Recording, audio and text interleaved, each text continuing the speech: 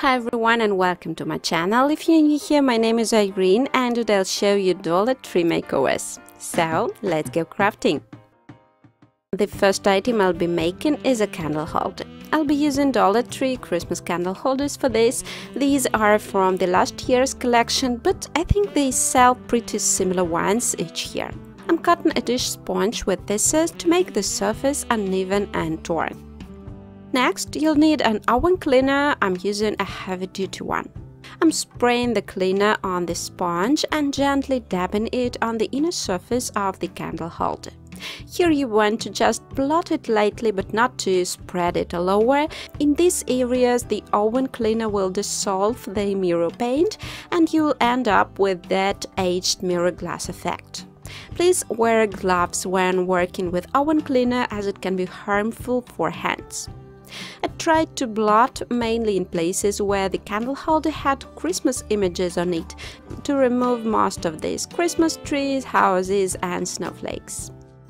Please also keep in mind that the effect doesn't appear immediately. The oven cleaner needs some time to react with the paint. Therefore, let the glass sit for about 15 minutes, then rinse it well and look at how it worked. If it's not enough, you can always proceed with oven cleaner once again. If it's not working at all, just try another oven cleaner brand. Not all of them are equally effective. My product worked much worse with the second candle holder. Apparently the paint is different here, so the aged mirror effect is much less noticeable. But I was afraid to overdo it and to remove all of the paint, so I left it as it was. After I obtained the desired look, I washed the glasses well and now we can start painting.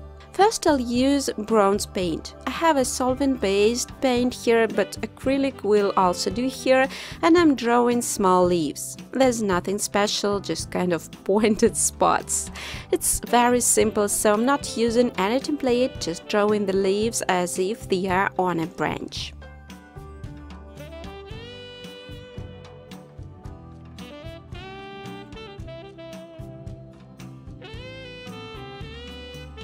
I'm waiting until the leaves are dry and then I'll use an outliner paint. I have a glass outliner in browns, but again, absolutely any outliner will do here. And I'm drawing the branches and the leaves veins, finishing the button.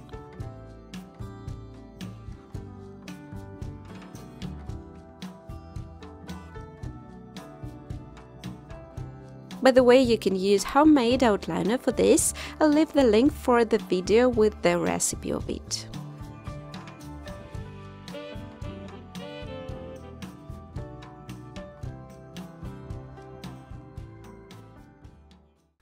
Absolutely love how the candle holders look now. Anthropologie had candle holders with a similar design, but they are not available anymore, so I cannot show them to you. The bronze painting looks very nice on the aged mirror surface. For the next makeover, I'll be using two bowls, some glue and old candles. I'm mixing equal amounts of cold welding glue components and applying the mixture onto the bottom of a bowl.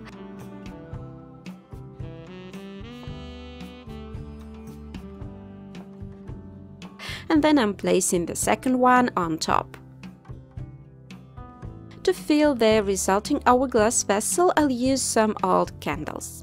I'm breaking the candles into pieces and I'm pulling out the wicks to use them for the new candle. You want to use a wick holder in such wide and low candles, otherwise the wick would fall by the end of burning, so I'm also using old tea candles and pulling the wick holders out of them.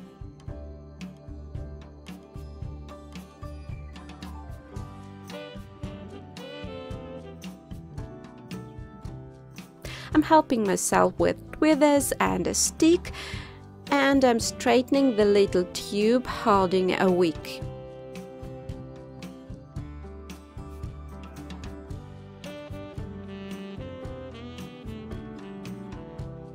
And next I'm inserting a new one inside and pressing it with pliers. I'm fixing the wicks at the bottom of the bowl with 3 drops of hot glue, placing an impromptu wick holder on top and filling the candle with wax. I have a small tin can for a melting box and so I filled the candle in 3 steps, which was actually good as I could feel the recess in the middle I got after the first filling.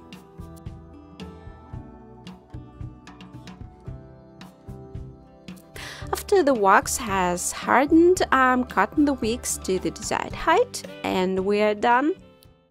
I've seen this simple project on the Lone Fox channel and I really liked the idea. This vessel has an interesting modern shape, you can paint it and also use as a small planter and it's a budget-friendly option to get a large interior candle as well.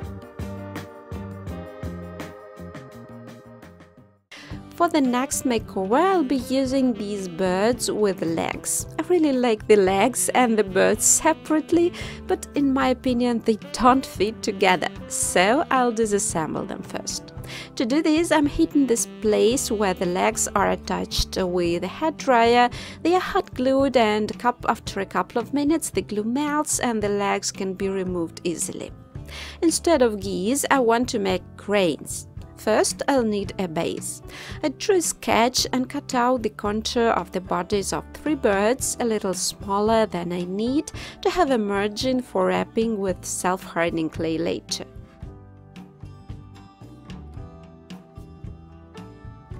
Cranes have very thin necks, so here reinforcement is needed. I'm twisting the bases out of thin wire and I'm bending them into the shapes I need.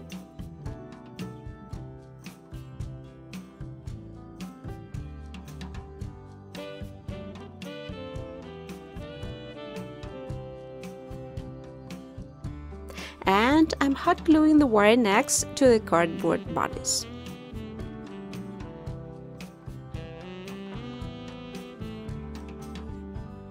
Next I'll attach the bases to the legs. Here washes were welded to the legs, I don't need them so I'm snapping them off. And I'm cutting the cardboard body a little from the bottom and placing it on the jumper of the legs and then fixing it with hot glue.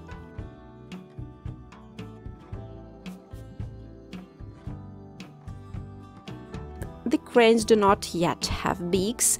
To make them, I'll use toothpicks. I'm hot gluing them to the heads and then cutting off the excess with wire cutters.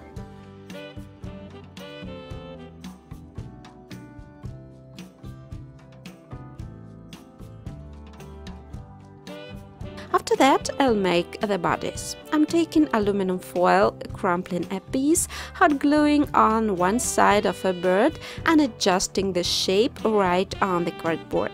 And I'm repeating the same on the other side.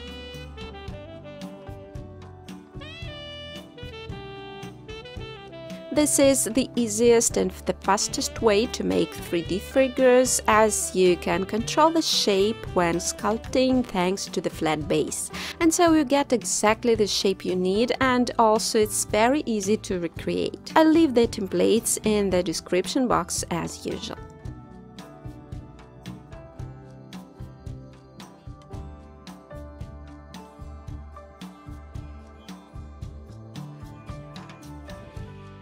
After the birds have grown fat, I can start modeling their final shape.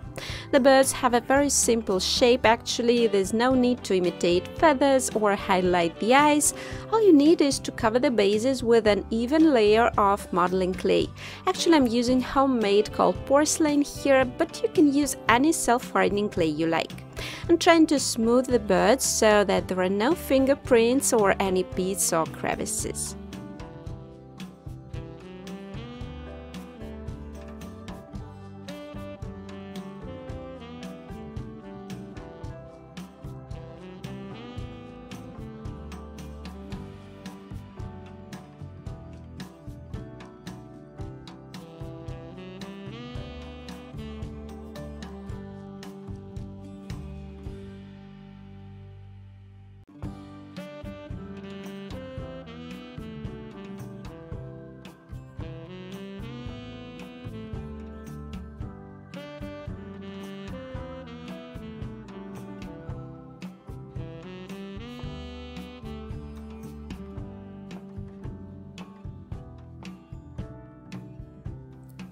After hardening, I've decided to smooth the surface of the birds a little more as I still couldn't get rid of pits completely, so I ended up using gesso primer. This is an optional step if the birds are smooth enough then it is not needed, but mine also turned out very yellow, so in my case it was necessary to prime them all the same. I'm rubbing in the gesso primer with my finger, trying to smooth the surface as much as possible. After drying, you can sand and polish gesso till the surface is nice and smooth. I'm waiting for the birds to dry and then I'll paint them. I've decided to repaint the legs as I wanted black ones. I primed the legs and then I just couldn't find my black acrylic paint anywhere.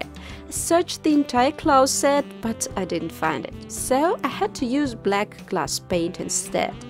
By the way, as soon as I finished painting the legs, I found the black acrylic paint in the toolbox. It's always like this with me. I can't find something and search through for it, then I speed, I come up with an alternative, and when I don't need it anymore, the thing is right here. Have you ever had this happen? In the meantime, I've painted the legs and the beaks black. I've decided not to draw the eyes for a more sleek look. I don't try to make realistic birds after all. All that is left is to paint the body white and to seal the birds with a matte sealer.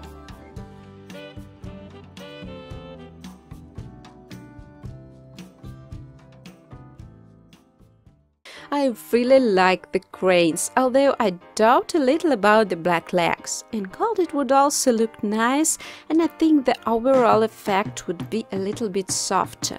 While as for the shape, I'm very much pleased given that I drew the sketches myself and I'm an awful artist. The bodies are now very proportional to the legs. This was exactly what the original birds lacked. And the last one for today is a little jewelry organizer. The first thing I'll do is I'll unscrew the mirror holders from the back side and I'll remove the mirror and the hooks.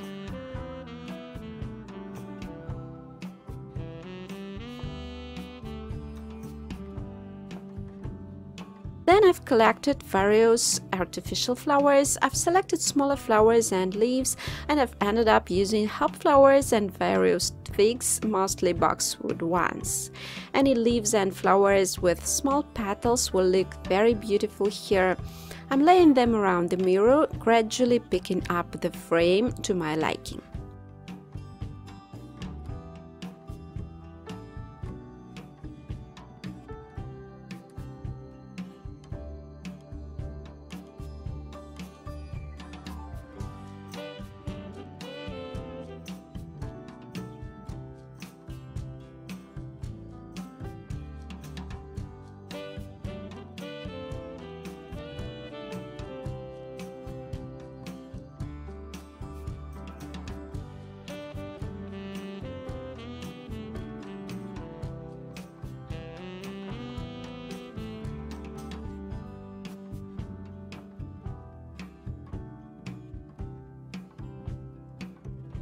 I've decided to add flowers, butterflies and dragonflies to hide screw holes on the organizer and I also want to decorate the drawer a little.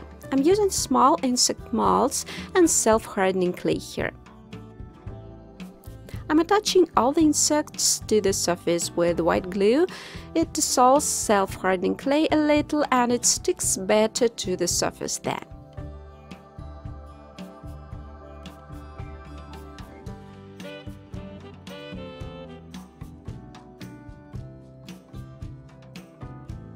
I'm adjusting the position of the butterflies with a stack in order to hide the holes.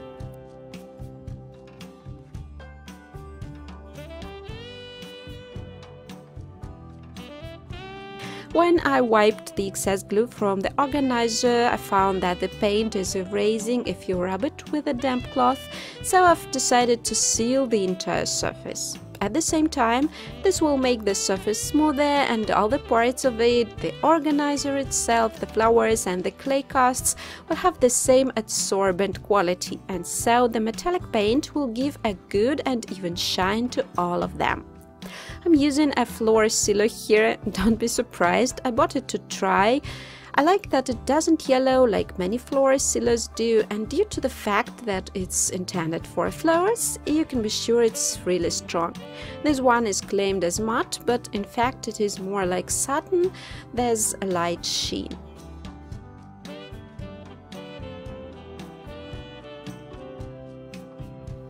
After the sealer has dried, I'm spray painting the organizer gold.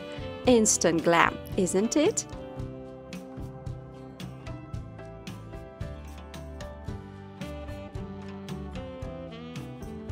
Drying, I'm returning the mirror back to place. I've decided to make a soft insert here so that jewelry lays on the fabric and doesn't get any scratches. I'm cutting out a cardboard rectangle large enough to fit into the button. Then I'm smearing the cardboard with a glue stick and laying it on a piece of fabric. I'm using purple velvet here. I'm folding the edges of the fabric and hot gluing them to place. And I'm placing the insert into the organizer. I've made exactly the same cardboard insert for the drawer.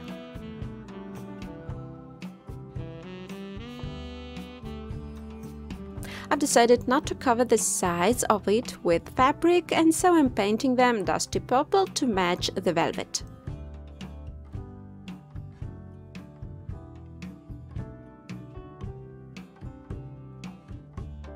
After the paint dries, I'm sealing it and finally attaching the insert. And we're good to go!